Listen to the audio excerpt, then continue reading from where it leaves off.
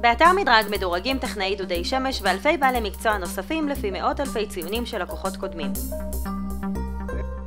היי, שמי סמיון, אני טכנאי ומתקין של דודי שמש ודודי חשמל. היום אנחנו נדבר על נושא דוד לא מחמם מהחשמל.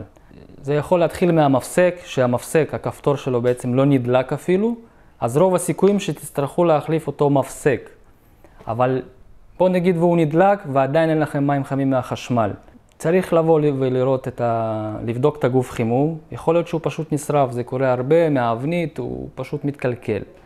או יכול להיות מצב שפשוט יש נתק מהכבל חשמל שבא מהבית לאותו גוף חימום בדוד, שיש איזשהו נתק או איזה שהם חיבורים באמצע שיצטרכו להחליף אותם. מי שהחליף גוף חימום, קודם כל הבדיקה הראשונה, הוא בודק האם מגיע מתח, חשמל. כי יש גם כאלה שמחליפים גוף חימום בלי לבדוק בכלל האם יש חשמל. ורוב הפעמים בעיות של חימום מהחשמל זה, זה בעיה חשמלית, ופה תצטרכו, אין יותר מדי איך לבדוק את זה בעצמכם, וגם אני לא ממליץ לכם, עדיף להזמין בעל מקצוע של הדודים, שיש לו גם קצת ידע בחשמל, והוא יפתור את זה בקלות.